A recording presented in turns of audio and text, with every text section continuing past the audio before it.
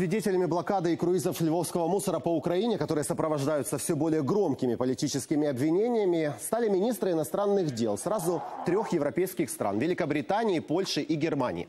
На этой неделе состоялись их визиты в Киев, причем все они впервые в Украине в ранге министров. Интересно, что Борис Джонсон, глава британской дипломатии, уже в ближайшие недели отправится в Москву, а немецкий министр провел переговоры с украинскими официальными лицами буквально за несколько недель до визита Ангелы Меркель в США и первой встречи ее с Трампом.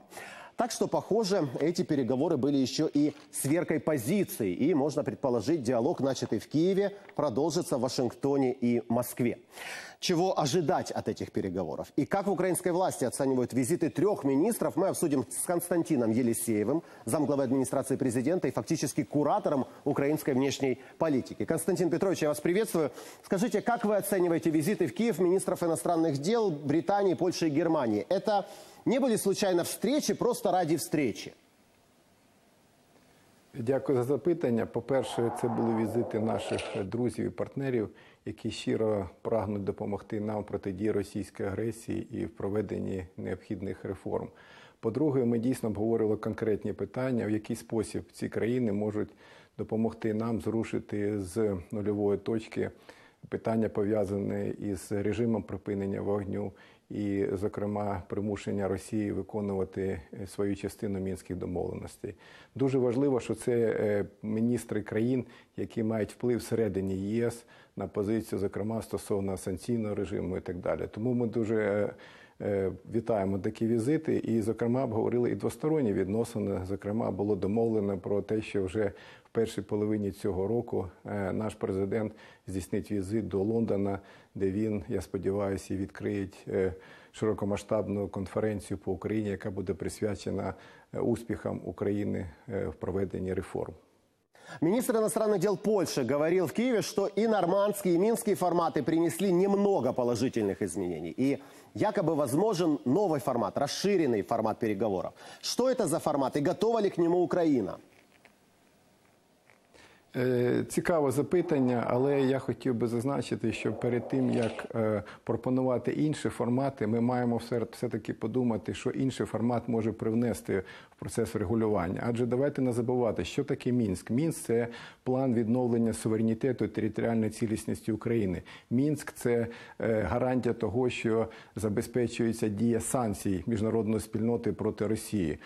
І Мінськ це теж також план того, як у політико-дипломатичний спосіб врегулювати ситуацію на Донбасі. Тому я хотів би сказати, що на сьогодні для нас важливо не формати і не учасники майбутніх форматів, а все-таки суть і зміст. На жаль, поки по суті ніхто нічого нового нам не пропонує. Але ми продовжуємо працювати. Я думаю, що ближчим часом будуть важливі сигнали з боку Вашингтона щодо більш активного залучення до процесу імплементації мінських домовленостей. Але все-таки такі пропозиції це ми розглядаємо як підтримка з боку наших партнерів, як занепокоєння тим, що наразі відбувається на Донбасі, як щире прагнення нам допомогти.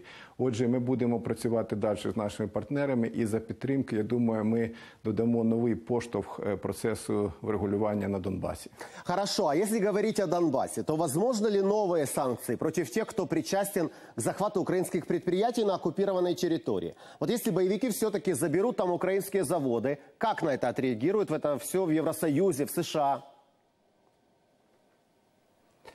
Це досить важливе питання. По-перше, я хотів би наголосити на тому, що йдеться дійсно про захоплення. Я б навіть сказав про рейдерство з боку російської сторони, російських бойовиків.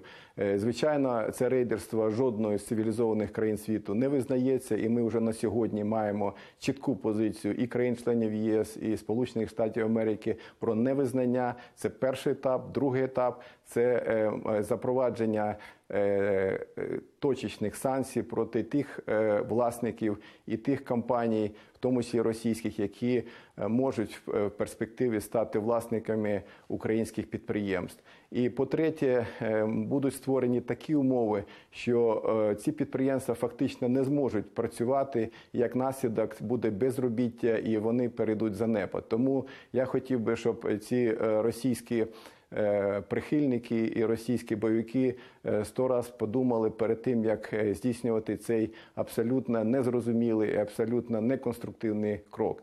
Я вважаю, що е, наша позиція досить міцна. Ми маємо потужну підтримку з боку міжнародної спільноти.